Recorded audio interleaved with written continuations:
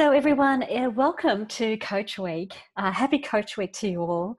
Um, and welcome to our seminar this morning, our webinar, where we get to listen to a very, very experienced person on the topic of coaching upwards. And I like our title it's, it's to coach upwards or not to coach upwards. That is the question. And I have tapped into, or we have tapped into, one of the greatest resources we have um, to actually help us answer that question today. So, this is Natalie Ashdown here with you from Open Door Coaching. And on behalf of our wonderful partners in Coach Week, Synergy Global, um, I'd like to welcome you to the webinar. If you'd like to interact with us, please interact via the chat box. We can pick that up and, and give your questions and comments.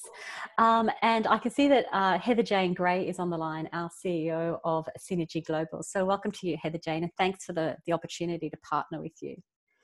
So we'd like to acknowledge the traditional owners and the custodians of the land on which we meet today and their continuing connection to the land, the waters, and the communities of Australia.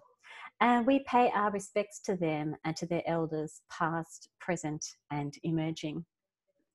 So, today, our agenda for the day is to introduce you to our keynote speaker, uh, talk about what is coaching upwards, why is it so important? Uh, when should we do it? And when do we need to do it? And when should we do it?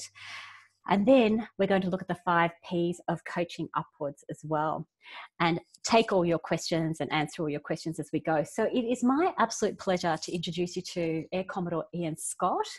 Ian has enjoyed a long career with flying in operations for the Royal Australian Air Force and the Australian Defence Force. He's held command level. Uh, he's held command at squadron, wing, and group levels, and he was appointed as a member of the Order of Australia in 1996 for his service as commanding officer of Number 37 Squadron. Ian has held a number of staff positions, uh, culminating in the post of Chief of Staff of Headquarters at Air Command in Glenbrook.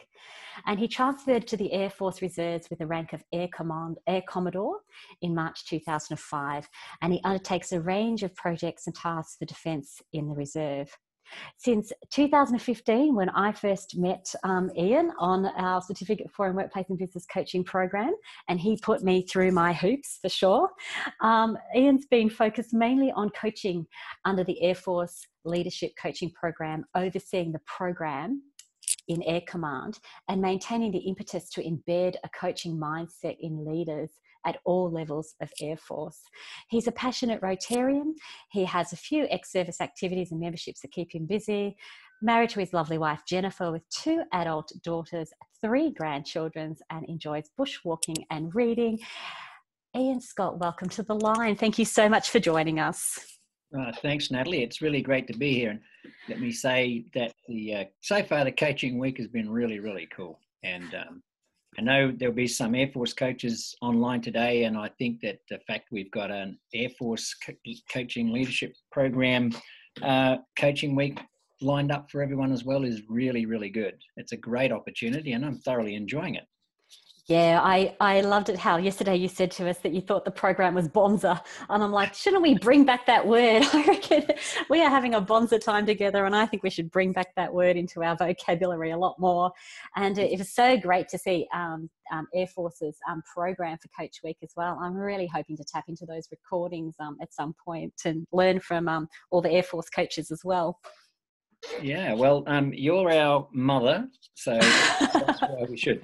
But you know, talking about culture um, and Bonza and welcome to country reminds me that um, th- what we're going to talk about today may be um, harder in some cultures than others, um, in some sort of expectations different societies have. But I think because we're taking a coaching approach, um, it does transfer across cultures. Um, obviously, I'm going to be talking from a fairly white Anglo Saxon perspective, um, and um, that needs to be, I think, kept in mind. But if we just think about a coaching approach to what we're doing, um, it will transfer rather easily. And I thought I'd say that given that you've managed to attract a worldwide audience um, for this week, which is superb. Thank you. And it's very great of you to acknowledge that. Absolutely. So, Ian, if we uh, move on, we're also, as I mentioned, going to talk about the culture. So, thank you for um, raising that as well. Would you like to uh, share with us, um, and let me hand over to you so I can learn from you as I always do. When you think about coaching upwards, let me just hand that over to you, and and um, you can you can share your wisdom with us. Sure. so, generally speaking, coaching upwards is when we're coaching the boss, someone in your command chain, if you like. But in fact, it might be more useful to consider that coaching upwards is whenever there's any power gradient between parties. So that can be military rank, it can be a hierarchy, it can be the performance reporting chain, but also less obviously, it might be your clients, uh, it might be your um, friends, it might be somebody who holds informal power in a in a situation. Um, so it's not just applicable to work, but it applies to social activities, perhaps your football club, uh, or volunteer organisations, as I might well know. And you can come up against it when there is no structured hierarchy. Um, it's very similar to having a crucial conversation, and that's where we use our coaching skills. Um, we use them in two ways. We coach ourselves to prepare for this coaching upwards, and then in the session with the boss, and that's what I'm going to be talking about today, the boss really, is where the skills like good listening and good questioning come in. Look, it needs to be face to face or at the very least on the phone. Um, because you can imagine how fraught it would be for the parties when they actually enter this um, coaching upwards if it's not just part of normal practice.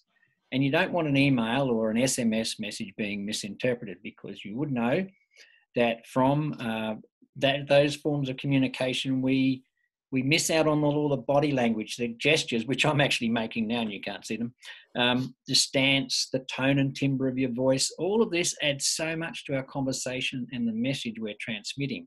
So we don't want to get this wrong um, by sending an e- trying to do it by email. But you don't need to be scared of it either because the outcomes can be really good um, for everybody concerned. So that's what coaching upwards is, Natalie. Thank you. Thank you. So, why is it important? And I'm going to be rabbiting on here a bit, but I hope, uh, Natalie, if you do find some questions on the chat, that you could interrupt me. So, most organizations will aim for a collaborative culture, um, one where everybody's efforts, their output, their ideas, their thoughts are all aimed at achieving the same objective. And that requires a fairly clearly articulated and understood vision with aligned action and a lot of trust in each other. And that's, uh, that's in spades with the military. So, not surprisingly, the ability to coach freely up and down and sideways helps to build those relationships. And it's a chicken and egg, I suppose. But if we are able to speak freely with our bosses and they're able to speak freely to us, um, it builds trust and then that strengthens the relationship and that strengthens the collaborative culture. And I know this is a cliche, but it's all about relationships. Now, when we talk about collaborative teams, we often talk about individuals being aligned with the organization, but we shouldn't forget the bosses, the managers, and the leaders also need to be aligned with the organization. So, if it's desirable to have all the cogs uh, working together for an output, then it's clearly not desirable to have one of them ratcheting away on its own. And perhaps when we talk a bit more about the situation where you might coach upwards, that will become a bit clearer. Um, and being able to coach upwards is truly walking the talk. If supervisors have got a coaching mindset, then they take the opportunity to develop their people in the best interest of the people and the organisation, whatever that is. And then it follows that they should also welcome the same opportunities. And there's a saying that it's lonely at the top. Well, it is if you don't have a relationship where people will talk to you. Um, so I guess the importance is that it's good for people, it's good for the organisation, it's good for getting things done and moving forward and growing uh, as an organisation. Yeah, thank you, um, Ian. And uh, they're getting quite a bit of a response on the chat now um, to mm-hmm. some of the thoughts you've offered already. So, Sam has said um, about the rank of a person, how it could be held unconsciously by the person. Um, and experience is the thing that most often provides unconscious ranks within issues uh, in organizations. So, um, your, your comment around uh, rank or hierarchy across different activities um, is definitely resonating with people. Yeah, I'm a little side anecdote. When I did join Rotary, um, I thought I was a pretty good leader. After all, I've been leading for a long time in the Air Force. And I believed that uh, the people who thought I was a good boss in the Air Force did things for me because I was a good boss. But when I went to lead in Rotary and tried the same thing, it didn't work. oh, yeah, sure. Yeah, yeah, so it is um, that expectation get built up, and that's why I brought up the fact before about the informal power. Who really is running um, the organisation? Who's who's the person that is actually holding levers that you need to perhaps have manoeuvred? Yeah, and um, whether we like it or not, rank does get in the way, and that's why in Air Force we do our coaching with uh, without wearing uniform. We wear civilian clothing. Yeah, all right, that's great. Thank you. Um, then the questions comes, well, okay, I've said it's important, but when when when do we need to do it? Um, when should we do it? Well, the first thing is when you're asked to do it. I mean, it's really fantastic if your boss is asking you for feedback or coaching on a matter because it takes away that first step in coaching, the one of getting permission to coach. Um, but you should remember when your boss um, asks you for feedback that you don't just leap in and go, Well, I'm, I'm so glad you asked. Here's a long list of things that you need to improve to get on with this organization. No, you don't want to do that. If the manager's asking you for feedback, they're trusting you, and you need to take the approach that as if you were being given some feedback. What would you like to hear? And the manager might need you as a sounding board. So, um, yeah, bounce it backwards and forwards understand what the manager wants from you, what the leader, I'm, I'm a bit of a leader man rather than a manager, but let's say whatever your leader wants from you, um, give it to them the way you would want to receive it. Now, the hardest situation is when you feel you need to initiate it. Um, and how will you know? Well, you'll know that something's affecting the performance of you, of the boss, of the team, and it has to be dealt with it's not just a minor irritation, it's something that's having a, a bit of a long term impact. So that the um, examples might be, and I'd love to hear any examples from our, our chat, um, where there is no feedback going on in your organisation, or perhaps it's done poorly. It's not um, timely, it's not concise, it's not accurate, it's not sincere, and all of those other good things we know. Um, or the person's the boss or another's not aware of a performance issue he or she has that's impacting on others.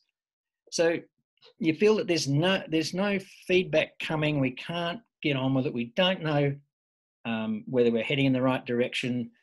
Uh, it's not done timely. You think that's a good example of where you might want to coach up. Or there's a problem, um, and the boss has got some destructive behavior going on um, that's impacting on you. And that could be, let's say, negativity. What if your boss is always below the line? What if the boss is always bagging out everybody else? What if the boss is already always blaming somebody else for the lack of resources in your organization? As a self aware coach, you might say, see that this is something that needs coaching upwards on. So a behavior from the boss um, or um, an outcome from that behavior, which is really causing an impact on your team. Um, and I think the last one is because I've talked a bit about Im- improving feedback is the clarification of intent. I mean, honestly, if you're not getting enough information and you're struggling with misinterpreting it, um, then you're disempowered. So if you're having to do a lot of rework, if your boss is changing that um, document every time you go back in there, if the boss is moving the goalposts around, it might be time to actually do that. Um, that coaching upwards. I'm just going to take a sip of water. Natalie, I don't know if there's any questions at the moment. Sorry, I have to take myself off mute. Yeah, I, I think I, I'm really appreciating your examples there, Ian, because I think all of us on the line could relate to at least one or two of those examples. Um, so Eden has actually offered that um, he suggests that uh, a psychological safe workplace helps create trust both up and down in a hierarchical structure. So that's exactly what you were talking about, Ian, when you're talking about mm. why it's important from a, a cultural point of view. Yeah, absolutely, absolutely. Um, Vanessa's actually asked a question which I think we'll pick up. Let me read it to you, and then I think we'll pick it up when we talk about the five P's actually. But she says, um, What if a boss asks for feedback and does not give? Uh, what if a boss asks for feedback and does not give time to answer? So they don't give the time, the airspace, or they shut people down. How would you approach that? So it's mm. a hmm. bit, uh, what I'm hearing is like the boss has asked for feedback, but they are actually not allowing you the actual time to respond. So yeah, perhaps yeah, you could pick sounds, that up in the sounds, five P's, but yeah. Mm, yeah, because it sounds a bit like it's a box ticking exercise on the boss. Um, and that's why at the start we said you need to um, walk the talk um, mm. about this whole thing. I think we said at the start. Yeah, definitely. Yeah, yeah, you did. Absolutely. Yeah. We will, if Vanessa, if we don't answer that properly, we'll please bring it bring it up again. So, guys, I'm going to give you um, an example, and this uh, we don't need the five P's. Sorry, sorry, I jumped. there we go. um, I'm going to give you an example, and this is a real life one. I'm one of those guys who um, learnt from his mistakes. That's why. that's why I look as old as I am. No, no. Um, I did actually learn a lot from my experience and mistakes, and boy, I wished I'd come across coaching a long, long time ago. But here's an example. So, a detachment from a flying squadron had just returned after three months' deployment on operations. So, it was a long way away from home, this place. Um, they were pretty well left to themselves in terms of setting up their base and working with foreign colleagues on operations. Now, that sounds a bit poor, but a while ago we would do things like that. We'd just uh, get together, boys, head over there, this is your job, see you when you get back. Um, look, they did a great job and they came home feeling very, very proud. Um, they were so happy to be home. They were so happy to have had a very, very successful deployment. And a few, few weeks later, a senior officer came to thank them for their work, and which he did at a parade. And then he promptly got stuck into them for complaining to an army commander who'd visited them on deployment about their living conditions they'd complained about um, their living conditions according to this senior officer. So he got stuck into them. But it turns out what they'd actually uh, had happened, sorry, what had happened is this uh, visiting army commander had asked them, um, What about your living conditions? And they were said, Look, we're all fine. We just would like to get some air conditioners into the operations room. You know, that's where they're doing all their planning and taking all their messages and turning their orders out. And uh, the army chap thought, yeah, soft Air Force Wallies, and he used that to needle our senior officer on how soft Air Force was. Well, of course, he's our boss then stuck the needle into the boys, and then um, they were very, very hurt and quite angry about that because they'd been accused in their mind of being whingers. But then the senior officer left straight away after the parade. He just dropped the little morale bomb and left, and that made it worse. Now, that was one of my squadrons, and I just couldn't leave it at that. And I, I had to coach upwards. I thought, I just cannot let this go on without standing up for the for the, the, the guys. And I did that. And I said, basically, um, I, I said to the the senior officer that um, he didn't really understand the impact his statement had made. And I, I talked to the boss a bit about it. I had a good rapport with him. I could ring up uh, and he was happy to let me loose on the phone. Um, and he, you know, he sort of said, "No, no. Look, honestly, I'm sorry. That wasn't a big thing. I really did appreciate the work. So I could go back to their squadron commanding officer and let him know that he didn't understand that that little barb at the end um, had really undermined everything that he'd said. So um, it worked well. It went well. Um, I was a terrified of doing it, but I learned you could do it. And that gave me the confidence to have those conversations. And pity it didn't give me uh, also the confidence to go and do some coaching training, and it would have been even better. But it gave me the confidence, and that's the one of the main things uh, that I got from that little example.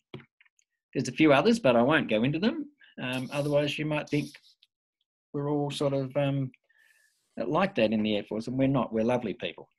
So let me then, um, with that example in mind, let me just go through the five P's of coaching upwards, the things that I've learned from experience and also from um, doing the coaching and and working with Natalie on these kind of things.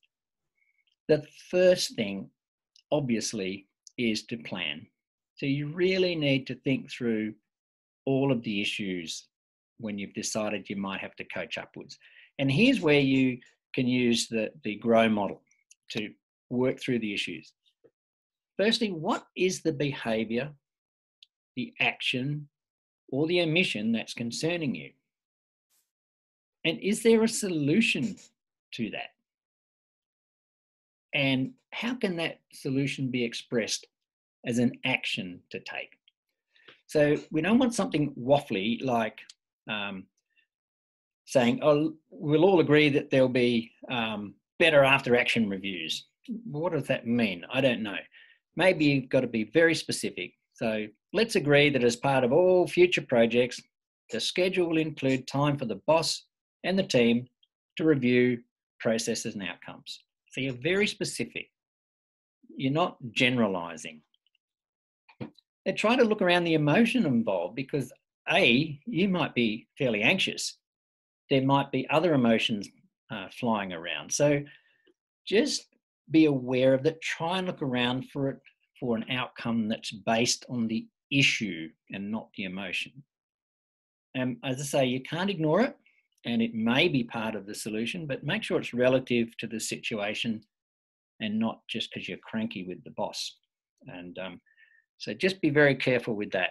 I'm just reminded of myself when I stormed out of a senior officer's office because he wouldn't agree with me. I got I got about 10 yards down the corridor. Yes, it was not that long ago, 10 meters down the corridor. And I went, What am I doing? Uh, this is really not helping my argument. And I went back in. I didn't get what I wanted, but I realized that the emotion wasn't the answer. Anyway, think it all through. Uh, take time, write down especially write down all the issues that can help. Uh, keep it as simple as possible and don't go in with a raft of demands. De- deal in specifics. Okay, so deal in specifics, not general statements.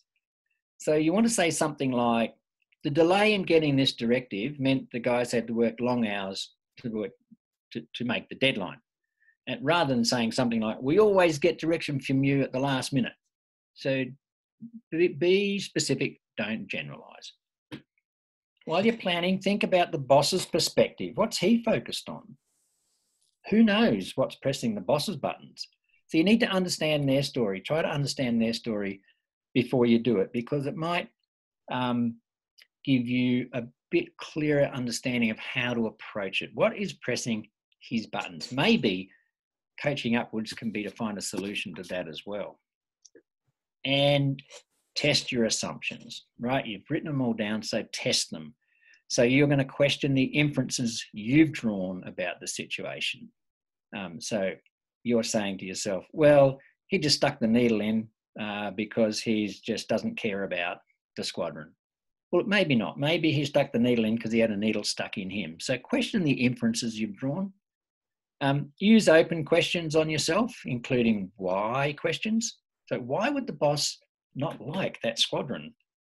Um, so really just test your inferences and especially test the one about whether you should be doing the coaching upwards uh, and whether it's actually needed as well. I'll just draw a breath here. I feel like I'm lecturing, sorry. No, absolutely. Um, I think uh, I think everyone's like me, um, Ian, and we're all taking notes. And um, Di's actually um, popped in the chat box here um, situation behavior impact outcome. So the SBIO model uh, is a good one to use with planning. And I can hear oh, yeah. exactly the situation behavior impact outcome uh, in what you're actually saying there. And what I think I like about what you're saying is that we're doing this in preparation and we're mm-hmm. asking these questions of ourselves and potentially asking questions of others in the workplace before we as we're doing that planning. Would you would you agree with that? Yeah absolutely. And um, i think our little p for practice is going to um, emphasize that too. Um, let me just run on to the purpose and this is our second p. We've got to make it positive uh, it's got to be a good outcome for you, the boss, and the organization. And the best thing is to try and frame it in terms of goals that the boss has or the organization has, or if you're really collaborative, um, that, that both of both has the boss and the organization.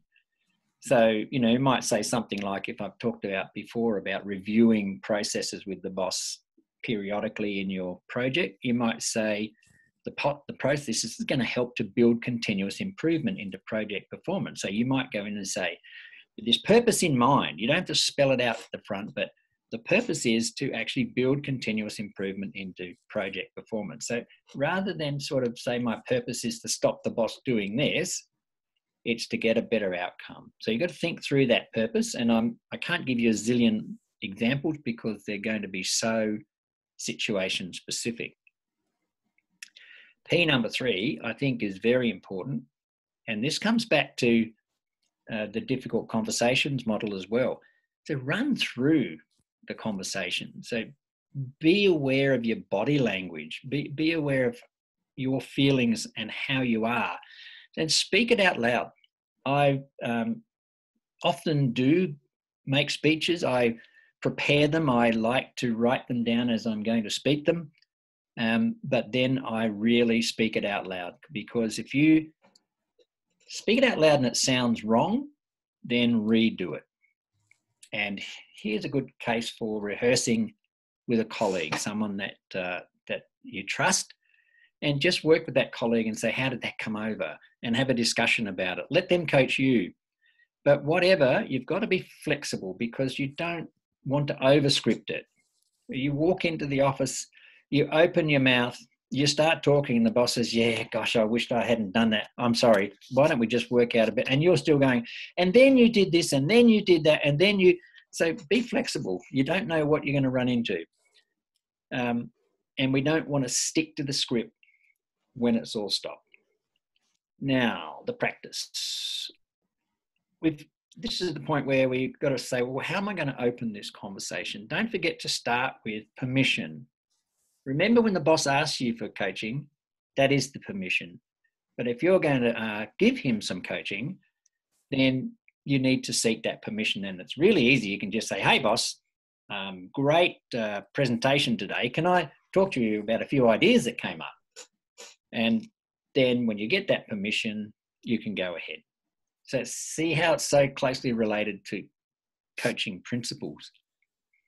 And then the fourth P is to pick the time and place. So you want to make sure the boss is in a good mood, um, that you're in a good mood, that work tempo is not too high. Um, you don't want to walk into the office when someone else has just come out um, holding their head as if they've just had a right bollocking. So get the boss in a good mood. You be in a good mood. Make sure the tempo is right. Don't try to do it you know, in the coffee room with everybody else there. Um, it's got to be somewhere where you can be confidential and private, and then just um, just start. Um, and the last P is Plan B in case it goes wrong.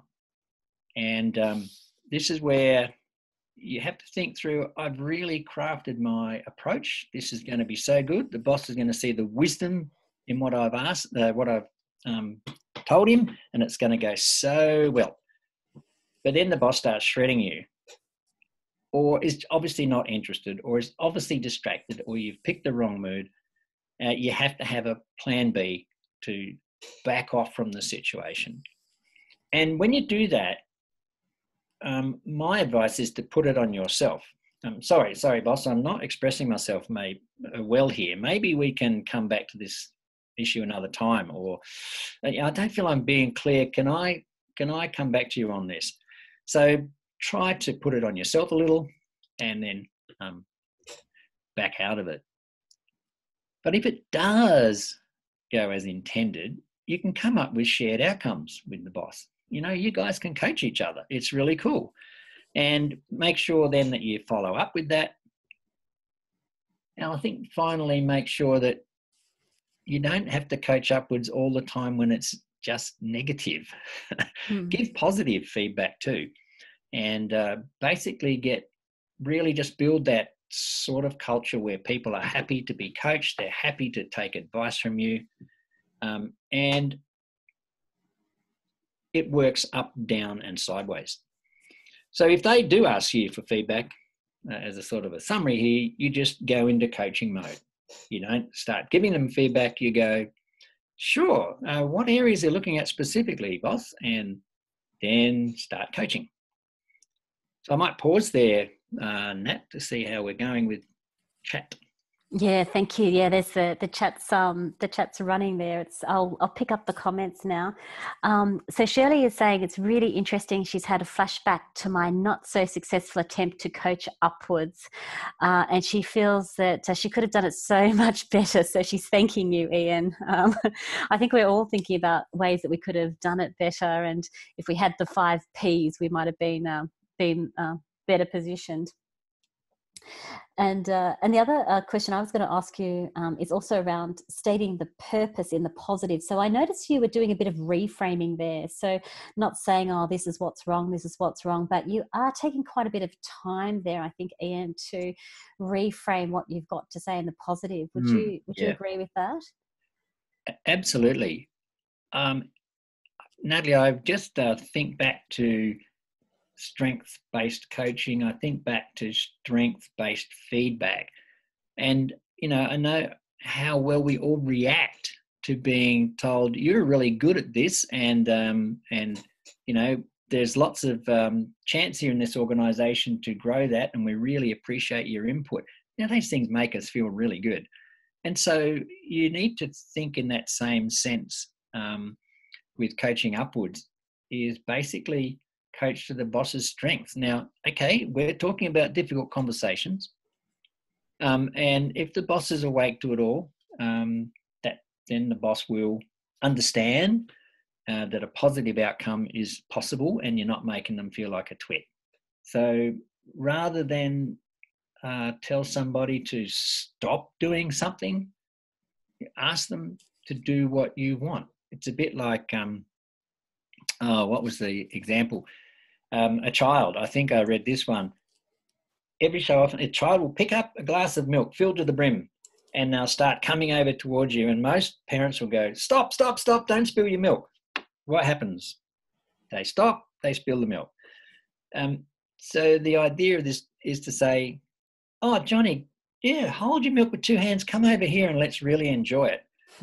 now that sounds, it doesn't sound very military, does it? Um, but it works. We we all rise to positive outcomes. We rise to um, to the idea of being told what we can do, not what we can't do. So it it's very deep and involved, and I'm not in the position or the uh, professional space to unpick it. But we react so well to that positive outcome rather than being told to stop doing something. Yes, I, I 100% agree with you. There's lots of research to back that up as well, Ian. And uh, the other thought I had is uh, I can hear you coaching the grandkids as well. so that was great little insight there um, as well. Just um, looping back there to uh, Vanessa's question, mm. she uh, I wonder whether it's picked up in the the um, fourth P, pick the time and place, because she did ask, but what if the boss just doesn't have the time or is not going to set aside the time or the airspace or shuts people down? So would you pick that up under the fourth P, time and place? I'm just thinking about that with mm-hmm. you. Um, yes, and I'd also pick it up through plan to think. Mm, plan, yeah. Um, uh, if if there's a pattern of this, then obviously when you're going to test your assumptions, you're going to actually come up maybe with the answer that the person doesn't really want it. Um, but if they do need it, in your humble opinion, then perhaps you should persevere. Oops, there's another P. Um, but that would mean you would have to try to pin the person down. And in a way, we're sort of um, on the fringes of coaching when we're trying to do that. But I, you might have to ask yourself, why does the boss ask for coaching and then, or feedback, let's call it feedback, and then not accept it or not create the space? And you can only do what you can do, which is try to create the space and the trust, um, and then to um, understand in picking the time and place. Are you going to be there for them? Can you can you be there for them, or are they not there? If they're not there, it won't work anyway. But I think the planning stage would be for me where I would do that. Yeah. Mm, thank you. And uh, I, uh, uh, I, think I agree with you there, um, just thinking that through with you. The other question um, that's come up, um, thank you, Sam, for this question, is around um, how do the five P's, have you got some thoughts about how the five P's work uh, when we're working from home or working in isolation? Yeah, I do. I mean, here's where we really want our leaders to lead um, and I think our working from home, we are more, um, what's the word? We're, we're usually more needy of that social interaction with our hierarchy that we don't get. You know, it comes back to it, it, is the um, direction clear? Do I understand what I've got to do? Do I understand my limits here? Um, I'll give you another little example from my career where um, I was in Darwin with a whole bunch of um, other folks, and we were waiting to go off on a potential operation. I can't tell you what it was because you might guess who the other person was. Anyway, there was somebody in a foreign country would ring me up every day and ask me to prepare 10 different scenarios for what we what we might possibly do and we were just like running around in circles doing work that was going to be of no value to anybody. Um, in that situation, I couldn't do a thing. Um, I was not, didn't have the relationship to um, ring up and say, look, we, we don't, um, we, we're just spinning our wheels here, boss. You're actually driving us all mad. Interestingly enough, um, there was a, you know, I just thought about this. There was a higher moral imperative that he could use to um, fight back, and that was to say, well, it's really important what if we're called this is a difficult task, you need to be well prepared. So um, he might have scuppered me on that one.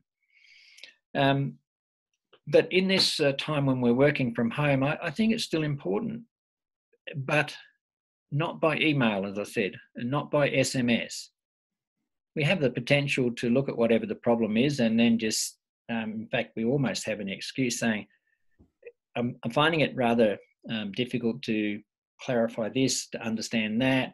Um, I'd like to speak to you more often. Is it possible we can have regular meetings? I think you can do it um, if you have to, if it's really interfering. Like I said before, you, you only coach upwards when it hasn't been asked for if there's an issue that's getting in the way of meeting your objectives or the organization's objectives. I can't see any difference between um, working from home and working um, in your current, your normal work environment, except you've got to be very, very careful about how you express it and make sure you do it face to face or on the phone. Yeah, I was actually thinking and reflecting as you were saying about defense forces and Air Force in particular, and how, you know, when you're on deployment, it can be that sense of isolation. Not not the working from home, but you you do have that sense of isolation where you are leading and you need to be able to connect in with your your leader or your manager or your boss. Mm. And so, I can see how the five P's work from that perspective. And I would have thought that defense forces and Air Force in particular have got a lot to teach us about that working in isolation. Um, that might be a conversation for another day, but it was something yeah. I was just reflecting on. Yes, it, it might be because uh, we have this thing called mission command in defence, where we we we certainly empower units to go and do their job without looking over their shoulder every um, 30 seconds, and that's um, it's so tied up with the principles of coaching, of building trust and rapport, and empowering people um, with all that that implies. Uh, that uh, I suppose if I can refer back to Anita's talk yesterday, and I'm not sure if everybody heard it, but having little hubs of coaches all over Australia, um, but trusting them to get on and to um, grow coaching in their area and to grow personal development without telling them what to do every five minutes. It's a similar, um, a similar expression, really. Mm. Yeah, I was just reflecting how Air Force could probably do that better than a lot of organizations because um, there is a lot of, uh, uh, uh in, in some organizations, as I've been hearing, it's like, well, I can't see mm. them, so how do I know they're doing their jobs? Whereas Air Force's mission command approach is allow people and empower them to do their jobs and let them get yeah. on with it. So. Exactly a different kind of ethos there. Uh, I am watching the time. Can I? Shall mm. we pick up a couple more questions and I, then? Yeah, I'll just uh, not too much more to go, but do you mind if I just talk about Maribel's? Um, I just had a look at what Maribel had put in there. Can I? Yeah, absolutely. Yeah. So she I she's really asked. Don't mm, I don't mind if uh, if you or others uh, talk about that as well. Basically, how do you coach when there's no respect or um, relationship between the two? And, mm. and for me, and this is for me only, and I'm, I'm not sure of the context, but it comes down to this that if there's something that's interfering so badly with the work, then you do have to coach upwards and you do go through the five P's and then and you start it. You, it does take moral courage. I'm aware of that, but it doesn't mean you have to expend your moral courage on it either, because sometimes um, you, if you don't fit with the organisation, you either have to put up with it or leave. Um, now, I'm not giving that as advice, but uh, you, you, if the imperative is to coach up, then you should do it. Um, and I know of numerous examples where people have left because their boss was such a mongrel. And uh, if that's what has to happen, then that's what has to happen. The imperative to coach doesn't change because of your status in the boss's eyes. It might change how you approach them, that's all. Mm-hmm. And Maribel's talking here about uh, when she feels that she doesn't have the boss's respect. So yeah. that that's the context there. Yeah. and you. maybe uh, you can get someone else to do the coaching upwards for you. Maybe you can. It might not have to be you. Um, all right. Well, let, I'll just quickly let's get on to the last bit then, um, Natalie, and I'll I'll um, take some questions at the end. I've thought about this coaching culture of coaching assisting in coaching upwards. And you might know that in Air Force, we've started to think that there's so many different cultures and they all work together um, that we've started to just talk about Air Force culture. And that doesn't mean we don't have a coaching culture, it means that it's a subset. Um, so, having had that disclaimer in there, um, because you can have so many different layers um, operating in an organization, there's many roles for a leader or a manager in an, in an organization, but surely the most important is to develop others, to get the best out of them, uh, for them and for the organization. And that means having a coaching mindset underpinning what we do. So it's best practice. It's best practice. And I, I just have to give you this quote I found from, was written by Kevin Cashman in a Forbes online article. Coaching is the art of drawing forth potential onto the canvas of high performance. Well, I like that. And that's surely the leader's job. Um, surely he's an he or she is an artist in that sense. And so if you have a coaching coaching culture in the workplace, um, you're going to be able to do that fairly easily. Everybody will be familiar with the language. Everybody will be having coaching conversations. And perhaps the most valuable component there is that there'll be levels of trust that exist. So I trust my boss. I trust that when I when I coach my boss, he's going to value it. Um, I trust my boss will coach me and I'll develop and grow as a person. And that trust overcomes all the barriers that can be created, real or imagined, by hierarchy.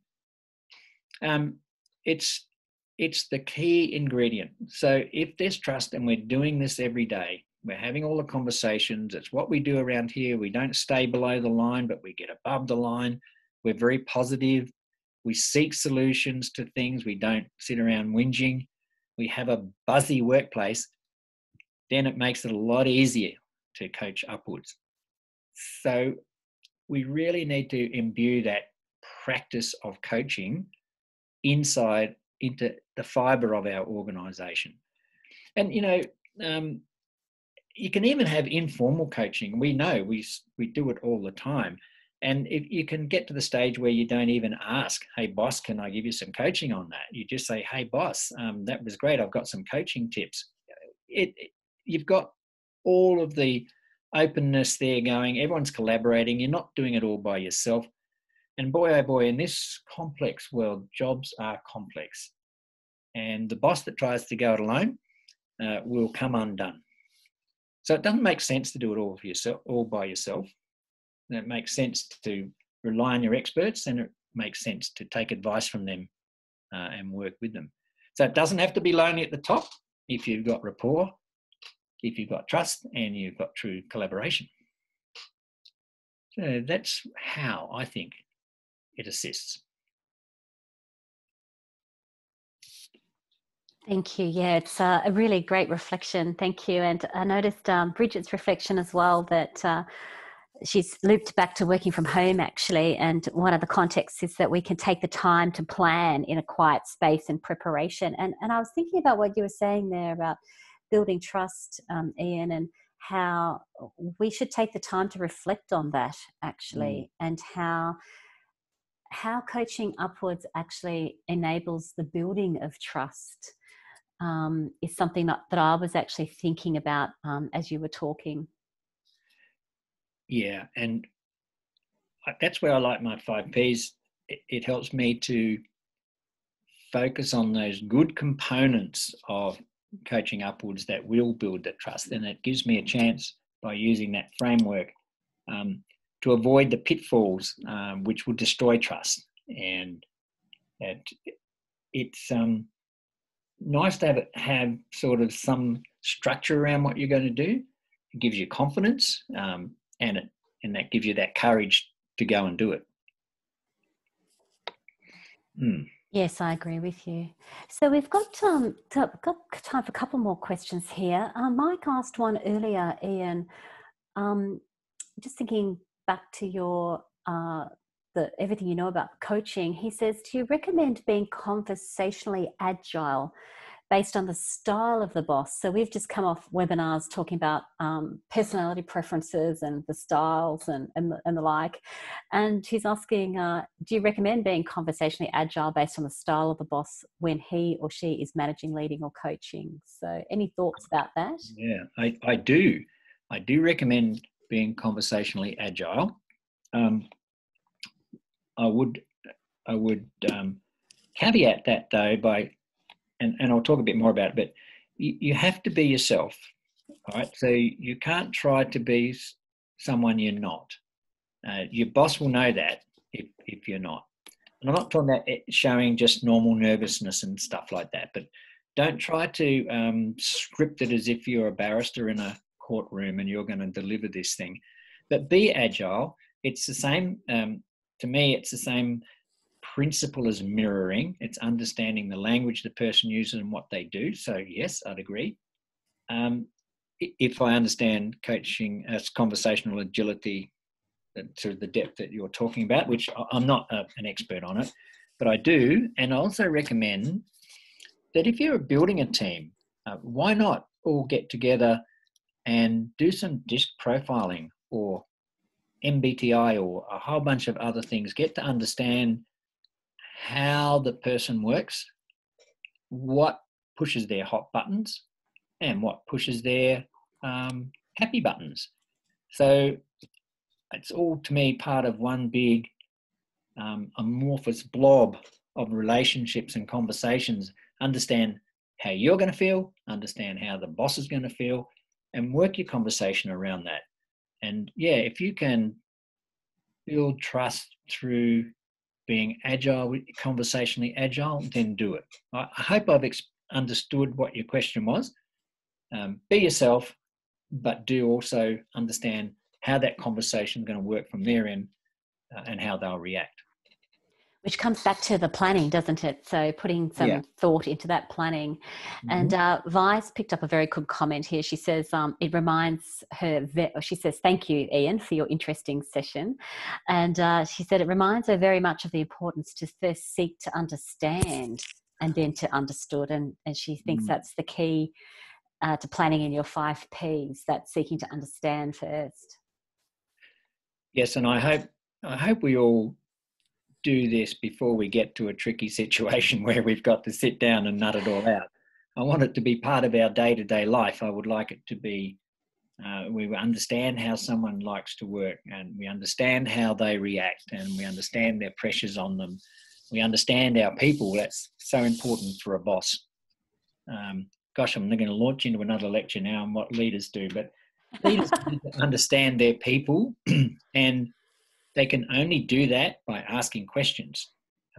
Ergo, you want to understand your boss, you can only do that by asking questions, by having a conversation and getting to know them. Hmm. Yeah, and I'm I'm conscious of the time now. Just checking if there's any more other questions coming in. But um, maybe you might um, share personally, Ian. Like you've always been a, an amazing leader and a great coach. Is there anything in particular um, about coaching that I, am not sure what, what, the question is, but is there anything in particular about coaching that you want to offer us or perhaps a personal reflection on the difference that really embodying coaching has made to you? Yeah, excuse me. Yeah. I, I, what I learnt most from coaching was the fact that even though I had so much experience, some some in the school of hard knocks, um, that that experience can't be translated to someone else by just telling them, "This is my experience. You know, you go and do it." Uh, for me, it was the the eye opening was, oh, if this person comes up with their own solution and their own goal or their own strategy, that's going to work um, on so many different levels that all of your coaches will know. That for me, I mean, I did understand not getting in the space. I did understand not um, um, giving my ideas all the time, but I didn't quite understand why. And as I've been coaching, as I've gone through personal development, I understand now it's because it's I'm I'm trying to invest myself into that other person if I'm doing it. They need to build and grow what's inside them. It's remember that lovely quote drawing forth potential onto the canvas of high performance. It's it's not painting the picture for them. And i'll give you one more little insight. I always used to worry about great questions because i thought how can i come up with these great questions? Then i realized they're the simple ones. The simple questions actually help the person to open up because they're not unpicking your question they're just opening up so they're, they're the two things that I've learned and grown mostly with or by or from coaching. Yeah, I really appreciate you sharing that because um, I think a lot of us on the line feel the same way that, um, you know, we're learning about coaching more and more as we go on, even the mm. super experienced coaches. And there's a few of us saying on the line here that we wish we had the five P's model earlier and we wish we had been aware of coaching um, earlier in our careers as well. Yeah. So mm. um, I think it doesn't matter what age we are, we could always think back to the last decade where we wish we had have had coaching so I, I, had a, a, young gun recently um, in their 20s saying, you know, I wish I had known about coaching when I was back at school. So, um, you know, it doesn't really um, matter what age or rank or level, um, it's applicable across the board from that perspective. Yeah. And one just last question uh, before we um, before we tie off. Um, you did talk about uh, resistance, and so um, and you know you wish that oh, the, the move from telling people what to do as opposed to coaching. And Vanessa's asked a question around how does that fit with urgency and emergency? So um, there's obviously a time and place for coaching, but how have yeah. you navigated the urgency and emergency uh, situation well, well? It's for me. It's quite straightforward. I hope. Um, I hope it doesn't sound wrong, but you know, in an emergency or urgency, if someone's doing the wrong thing, you step in and make it happen right. Um, we've often discussed this. Um, mm. An example would be if if you're flying in a um, in a jet aircraft, it's um, single engine, single occupant, single pilot. Um, they have to react very quickly to what's going on, and uh, they're trained to do that. They're also trained to analyze very carefully the situation so they don't do the wrong thing. Same with a multi-crewed aircraft. The first thing usually what happen, that happens when there's an emergency is that um, the pilot, the captain will assess, is this something I have to react to straight away? Or have I time to do some deeper analysis? Because if I have to act straight away and I get it wrong, it could be a disaster. And so they would sit there and say, all right, well, this is happening. Let's have a look at it. What does what does everybody think? How can we deal with this? Um, oh, the engine's shut down now. What are we going to do? So, urgency and emergency means that you have to act straight. Urgency and emergency mean you have to react straight away. But whenever there's a gap to think, you should always take the opportunity to look around for another solution. It's not to do with coaching, it's to do with coming up with the optimum solution. But if somebody's going to do the wrong thing in an emergency situation, then you will still step in. Um, I hope that's clear enough. That yeah, I think you, it you can't just put everything in a can't put things in a box and say, um, "This is too urgent. I I don't have time for coaching," which, because that would just give people um, a crutch to do that. Really, I think you should be able to um, say, "This is urgent, but how urgent is it? Can I actually take a little more time and perhaps come up with an optimum solution. Yeah, absolutely. And I think that goes back to your five P's as well. So planning, mm. working out what's the right, the best approach here as well. So yeah, yeah, thank you. Well, Ian, um, what can I say? On behalf of everyone that's um, joined in Coach Week, on behalf of um, Heather Jane and the team at Synergy Global and the team at Open Door, we are really appreciative of your time. Um, it is such a privilege to learn from you, and you are so open and you're so giving of your uh, of your not only your tips, but I think the wisdom and experience. Um, I've listened to your presentation a few times now through the certificate for and workplace and business coaching program when you've delivered it to Air Force. I think all those maybe 10 times or more. Each time I've taken a series of notes and I've got a new series of notes today. So um, everyone is thanking you on the chat. Um, And on, on, behalf of the team, thank you so much. And I just encourage everyone, um, hook into those other Coach Week uh, sessions that we have. There's so much on offer across all levels of experience. So um, I thank you today, Ian, and um, wish you all a good afternoon. Thank you. Natalie. And uh, let me remind any Air Force people out there to have a look at um, the coaching week opportunities in Air Force as well. Um, oh, and uh, Army and Navy, we, we don't mind them. And thank you so much for the. And I'm looking forward. I'm looking forward to the next three days as well. Fantastic. Thank you, everybody. We'll say good afternoon for now.